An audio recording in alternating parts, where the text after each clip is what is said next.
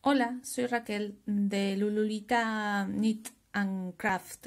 Hoy les voy a explicar cómo hago yo para hacer el cambio de color en los amigurumis y para que este cambio de color quede lo más uniforme sin que quede una diferencia de un escaloncito entre color y color y como podéis ver a mí me da bastante resultado sé que hay muchísimas otras formas pero esta es la que, la que hago yo. Y como veis queda todo más o menos en la misma línea. Ok entonces aquí estoy haciendo la segunda piernita del amigurumi.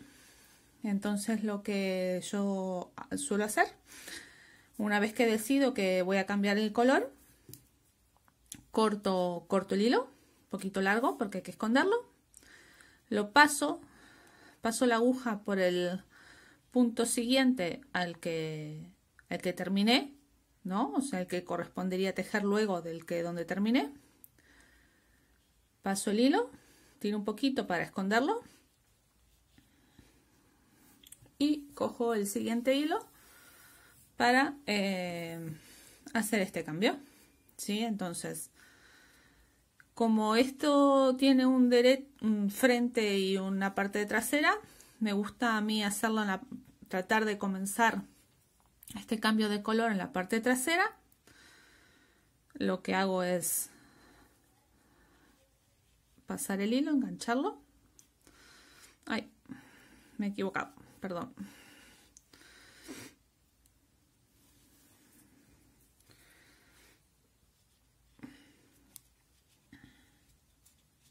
Ok, ahora que lo tengo ya lo he, pasado por el, por el primer punto, digamos, donde vamos a comenzar a tejer.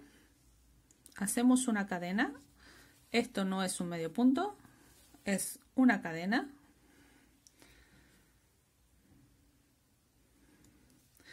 Y luego sí hacemos el medio punto que corresponde a este punto.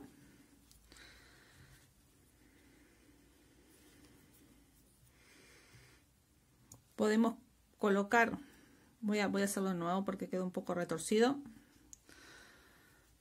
Voy a colocar lo que es el, el marcapuntos, no el inicio de vuelta. Lo podemos colocar o no, esto ya va a gustos.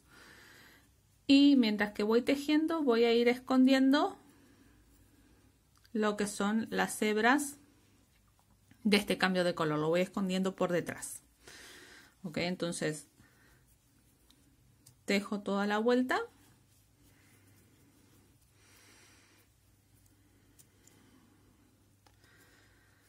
Hacia el final.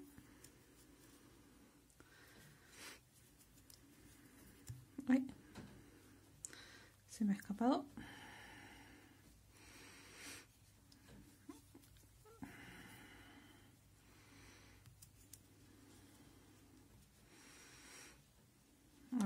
Para adentro los hilitos. Y bueno seguimos hasta encontrarnos con el, el inicio de esta vuelta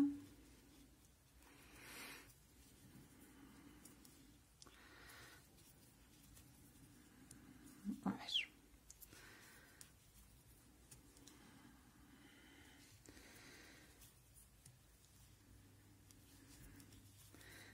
y una vez que llego aquí que es donde finalicé la vuelta anterior ok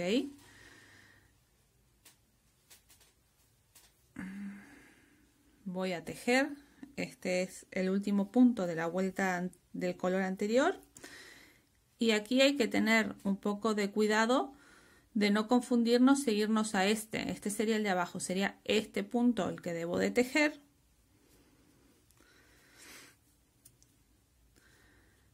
y este punto. Y ya ahora lo que hago es unir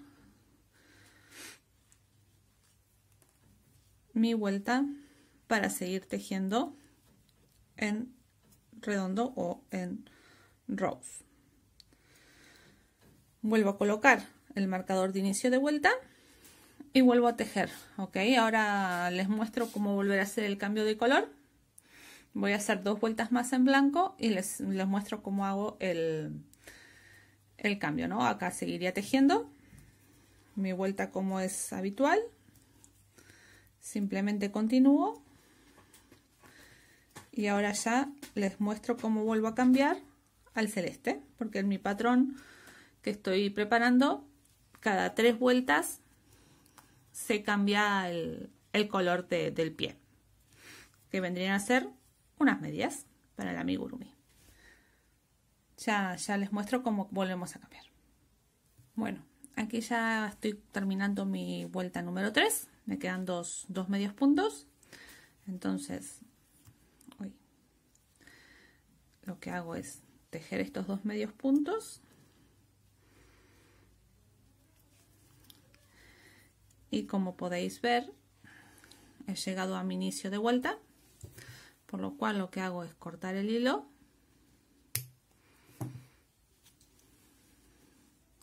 salco el marcapuntos escondo o paso lo que es el el hilado por donde estaba el marcapuntos, ¿no? el, el punto que comencé la vuelta. Tiro del hilo y vamos a hacer lo mismo que hicimos con el color blanco. Vamos a proceder a cambiar el color.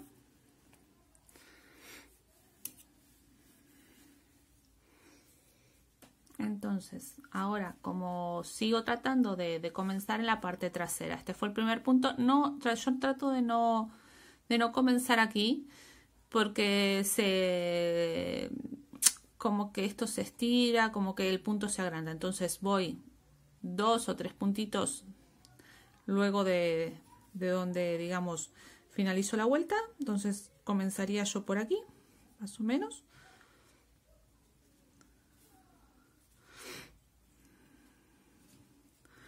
lo que hago es, como hice antes, pasar el, hilo, el, el hilo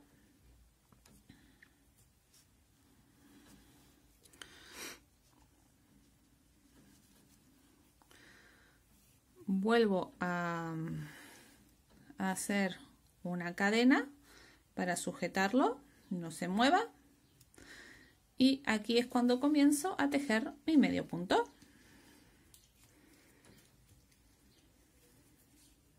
Uy, esperen que se me está ahí deshilachando algo. A ver, vamos de vuelta. Pasamos el hilo. Vamos a pensarlo más por aquí, más larga la hebra. Parece que se está deshilachando.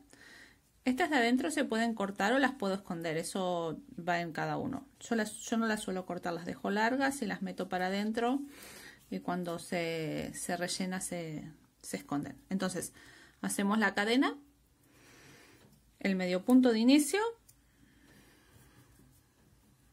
podemos poner el, marcador o no, o podemos ir contando los puntos, porque también a veces es fácil de, saltearse uno, y empiezo a tejer mi, eh, mi vuelta.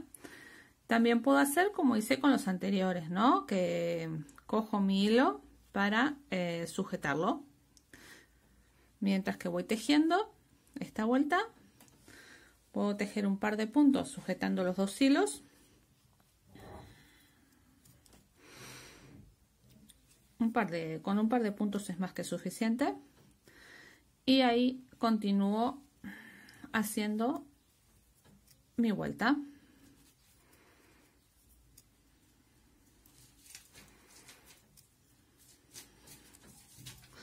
Lamento el ruido, pero está mi gato jugando con unas hojas que tengo.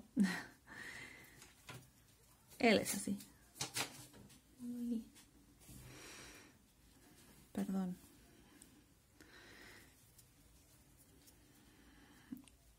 Y aquí es cuando llegamos a lo que es el, el final de la vuelta del blanco. Ahí está, ahí me tiro la hoja. Y ahora tenemos que unir digámoslo, con el, punto de la siguiente, que es donde se formaría el escalón si yo no, no lo un momento. Lola. Perdón, es que justo pasó mi gato por delante de, la pantalla. Como les decía, eh, aquí es donde eh, finalizó la vuelta con el hilado blanco. Este es el punto, el último punto del color blanco. Y este venía a ser la vuelta de, de inicio del blanco. Entonces, por lo general a veces cuando cambiamos el color sin cortar hilado es cuando se ve el escaloncito lo que hago es tejer mi, punto normal y estaría. Y ahí uno mi, mi vuelta, la uno con el color anterior y continúo tejiendo mi patrón. Mis tres vueltas en celeste. Espero que, haya quedado claro o espero yo haber sido lo suficientemente clara en mi explicación. Como podéis ver, va quedando todo en la misma línea, sin escaloncito de cambio de color. Eh, y esto va en gustos, ¿no? Y, y nada, cualquier consulta, cualquier duda, me podéis dejar un comentario. Y agradezco vuestro tiempo de haber visto el vídeo tutorial. Y les agradecería si le dan seguir a mi canal, suscribirse, porque de ahora en más voy a tratar de seguir subiendo algún vídeo tutorial e incluso patrones de amigurumis que, que he creado yo. Les agradezco mucho vuestro tiempo, como les decía, y hasta la próxima. Hasta luego.